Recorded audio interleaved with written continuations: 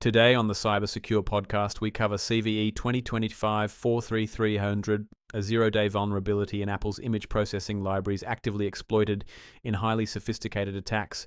Apple has released emergency security updates for iOS, iPadOS, and multiple versions of macOS to remediate an out of bounds write issue that can lead to memory corruption when handling a malicious image file.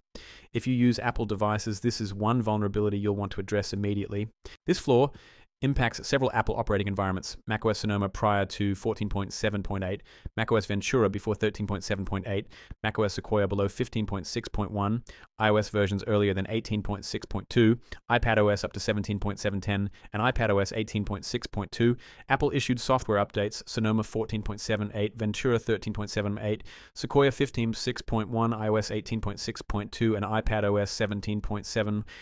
10 18.6.2 to close this critical gap across desktop and mobile platforms. CVE 2025 4300 is a memory corruption vulnerability due to an out of bounds write during image file processing.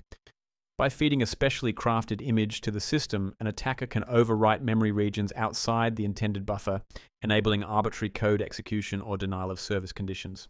Apple's image rendering component lacked proper bounds, checking on certain image metadata fields, a malicious image can trigger an out of bounds write, corrupting memory, and potentially executing attacker supplied payloads. Apple has confirmed reports of targeted exploits in an extremely sophisticated attack against specific individuals, underscoring both the complexity of the exploit and the real world risk. The vulnerability was assigned CVE 2025 43300 and patched on August 21, 2025.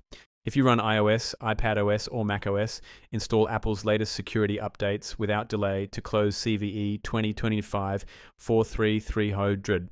Regularly check for firmware updates, avoid opening suspicious images, and maintain a layered defense strategy. Staying current with patches is your first line of defense against zero day threats and advanced targeted attacks.